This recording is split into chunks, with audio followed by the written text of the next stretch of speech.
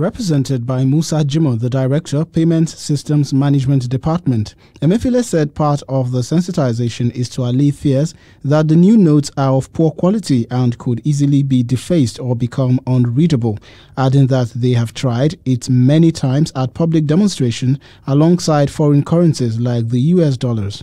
He said the features are solidified and not easily spoilt except deliberate or direct washing with water, writing on it, among other things.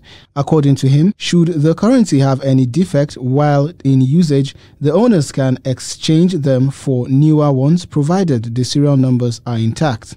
Show you some of the security features. And I've said this. For those of you who says, oh, I put the money in the pocket and the, the money washes and blah blah, I, I said this thing. So we actually tested it because some people said, oh, bring the new note, use tissue paper to wash it, and then you see it change. And so the first thing we said is, please give me any new currency, mint, that you not see the dust of the paint on top. And so what we did was to try some other foreign currencies.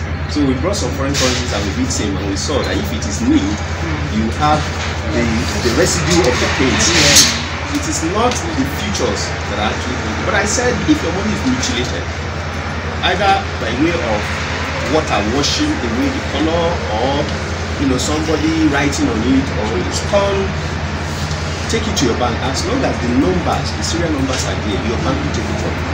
He stressed that the January 31st deadline for the stoppage of the old notes remains sacrosanct, adding that the allegations by some commercial banks that the CBN is denying them of the new notes is totally false. The old note is still legal tender currency till 31st of January, which we expect you to take it to the bank. And that's why I said we remove all the charges that you know uh, banks will charge for lodging amounts above the cash uh, lodgement limit.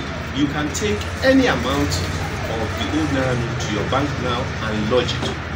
He urged the people to report any bank ATM still dispensing the old notes because enough new notes have been given to the banks who have been coming to them to collect the new currencies in large quantities.